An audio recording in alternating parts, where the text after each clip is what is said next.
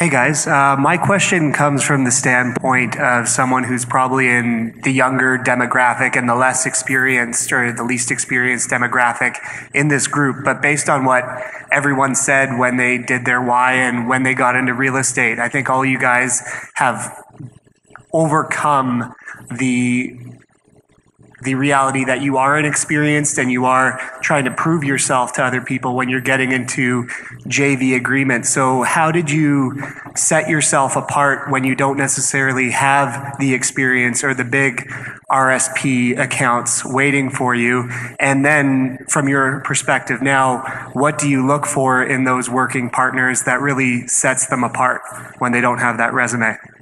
I'll start because I'll go quick and maybe we'll go down the line. Uh, for me, it was I used other people's money, but it wasn't a joint venture partner. Uh, as much as it was my student loan, right? So I found we talk a lot about other people's money with private lending and with finding an actual physical partner.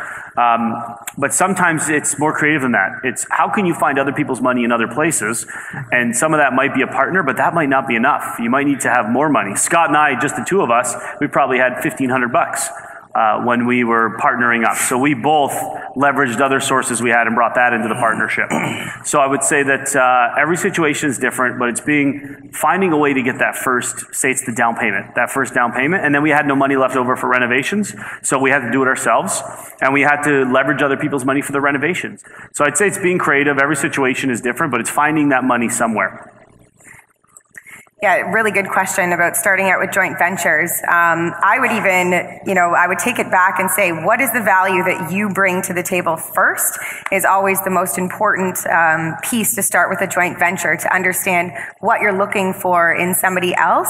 And now, as a working partner, I still am a working partner and I do a lot of joint ventures. Um, but what I bring to the table and what sets me apart was that I was a professional property manager for over four years.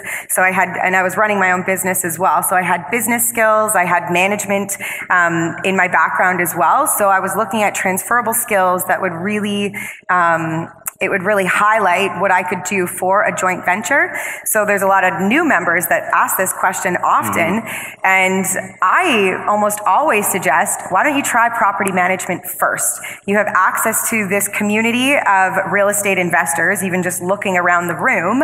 Um, pick up a couple properties under management. You can charge a monthly fee for it. You're going to gain experience with filling the property. You might gain experience to go through an eviction process as well. And just overall learning how to run from a property management perspective.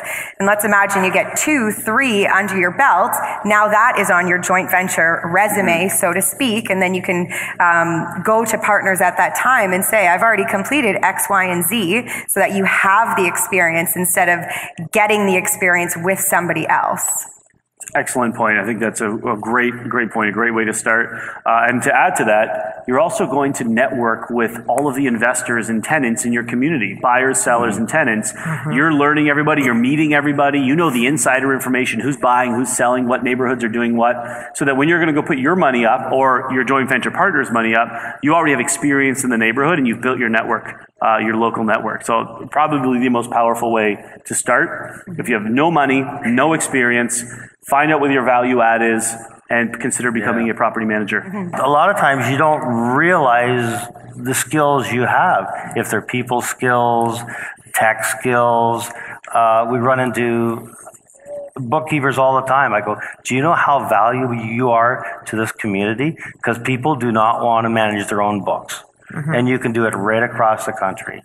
But we've had members in the past, young couples, and we coach them. If it's to, to do joint ventures, well, work on your value add, build a website.